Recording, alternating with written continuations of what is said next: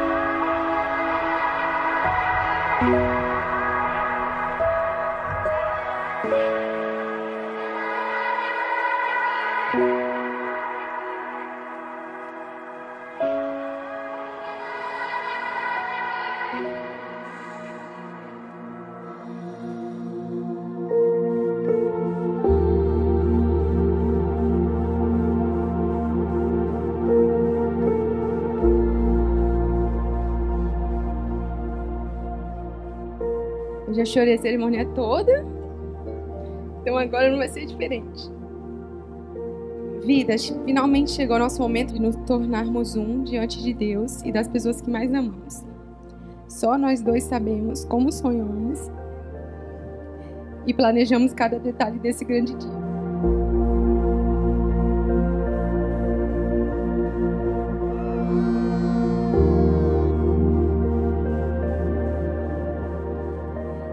Conhece um pouquinho sabe como eu amo foto de casamento, né? Mas, pra quem não sabe, preciso compartilhar um segredo. Eu sou viciada em assistir vídeos deste exato momento que estamos vivendo agora. Henrique sabe disso também. Milena também. Meus favoritos, eu já até decorei todas as palavras disso. De tantas vezes que eu já assisti. Tentei me inspirar em algum desses vídeos para expressar essas palavras, mas percebi que seria muito melhor me expressar da maneira mais simples possível, porque nosso relacionamento é exatamente isso. Viver o que de fato nós somos, sem inventar muita coisa.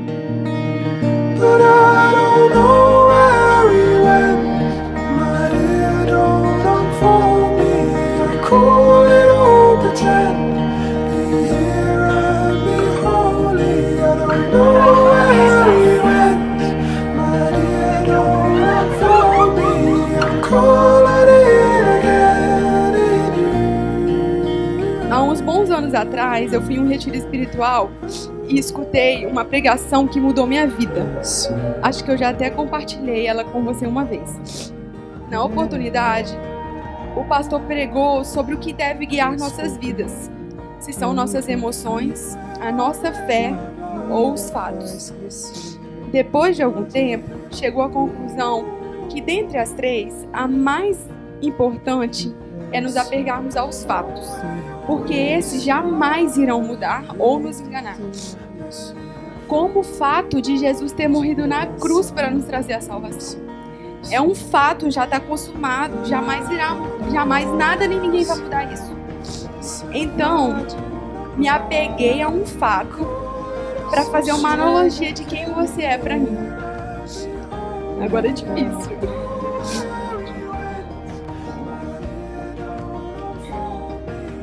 No dia 15 de outubro deste ano, parecia ser uma sexta-feira normal. Você já sabe o que aconteceu. Seguíamos nossas rotinas.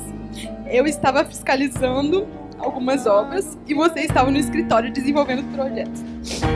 Quando eu fui visitar minha última obra do dia, percebi que tinha deixado passar um erro grande da equipe que executava a edificação. Eu simplesmente perdi meu chão. Não sabia o que fazer, me desesperei. A única coisa que eu conseguia pensar era: preciso falar com o Henrique. Fiquei desesperada e pedi para que você fosse imediatamente para lá. E sabe o que que você me respondeu? Mas tem que ser agora. Na hora eu fiquei brava. Pensei, como assim? Tô desesperada, chorando, e esse menino tem coragem de perguntar se tem que ser agora. Hoje eu consegui enxergar que as coisas não podem e não tem que ser do meu jeito na minha hora. E você me ensina diariamente a isso. Hoje eu sei que dentro de você havia um turbilhões de emoções e o quanto você tinha consciência dos problemas que tínhamos que enfrentar. Você manteve a calma e falou assim: vamos para o escritório encontrar a solução. E foi exatamente isso que você fez. Parou todas as suas prioridades para resolver um problema que era meu. Ficou seu final de semana inteiro buscando a melhor solução possível. E você resolveu. Da maneira mais sábia que existe. Hoje eu tenho a plena convicção que isso tinha que acontecer. Eu não precisava passar por isso para saber que você é o homem da minha vida. Porque você prova isso diariamente através da sua vida. Mas eu precisava passar para aprender a te honrar em todo o tempo. Em nenhum momento você me julgou ou apontou os meus erros. Pelo contrário, você me trouxe consolo e conforto. Sabe por quê? Porque você é exatamente isso. Se coloca no lugar do outro o tempo todo. Mas hoje, mais do que nunca, eu tenho a certeza que foram exatamente essa diferença que nos uniu, que nos moldou e que nos completou para que hoje pudéssemos concretizar o nosso maior sonho em comum, formar a nossa família. Você era tudo o que estava faltando na minha vida.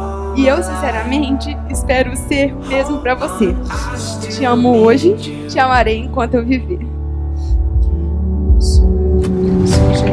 Long in this highway, silent beside me. Driving a nightmare I can't escape from.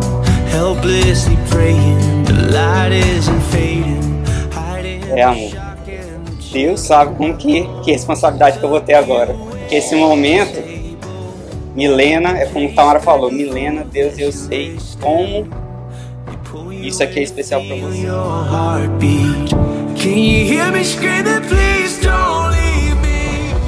está aqui um dos símbolos mais importantes de qualquer relacionamento conjugal de marido e mulher, é a aliança.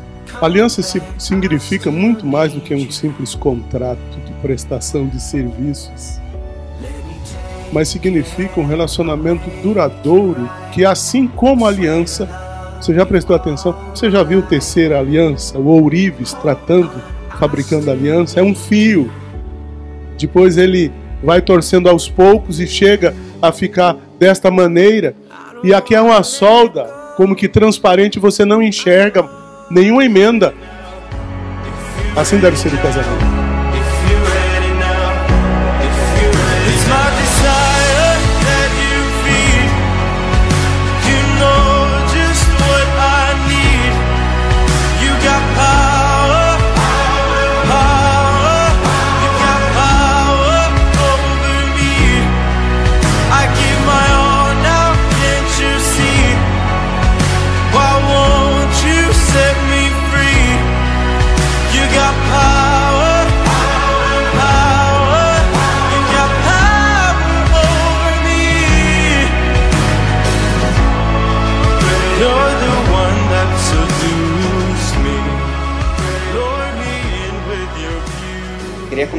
Falando como somos contrários, né? Quem conhece um pouco da Tamara sabe, Tamara impulsiva, carinhosa, intensa.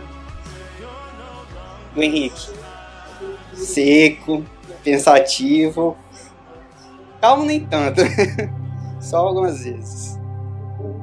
Mas enfim, somos contrários. Mas contrários que se completam. Porque o que na vida não tem o seu oposto. Santo Agostinho, até para explicar o quanto devemos nos amar, usou uma contrariedade, respondendo que a medida do amor é amar sem medida. Então, como seriam as minhas manhãs se na minha serenidade não tivesse sua intensidade? O que seria dos meus sonhos se não fosse você para me ancorar? O que seria de nós se não fosse você para me ensinar a admirar as coisas que não são presentes em mim e fazer te amar cada vez mais por isso? E é por isso que hoje eu estou aqui diante de Deus, das pessoas que a gente mais ama nessa vida. Para falar que a qualquer momento da sua vida estarei aqui com minhas imperfeições e perfeições que me moldam para ser seu amigo, seu amparo, seu ouvinte, seu marido, nas contradições, nos momentos difíceis e principalmente nos momentos alegres. Porque essa é a minha missão, ter sempre seu sorriso. Peço a Deus que me ensine a cada dia te amar sem medida, um amor sincero e sem manchas, porque Ele confiou a mim a sua felicidade. E quando vinham as tribulações, eu achar que tudo esfriou dentro de mim, eu lembre que Deus me mostrou que meu amor se encontra aqui, no contrário, que ainda te amo.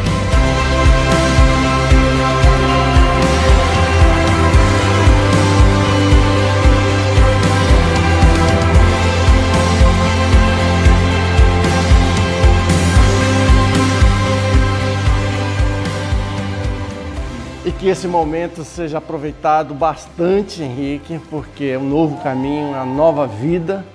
Né? Vivencia tudo que você aprendeu pela educação minha e do- da sua mãe e dê toda a sua vida pela Tamara.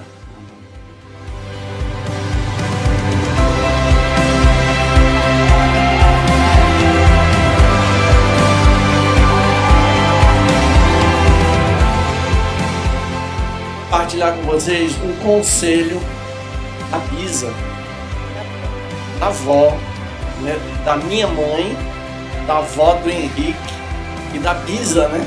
De tantos. Ela não pôde vir, ela tem 93 anos de idade.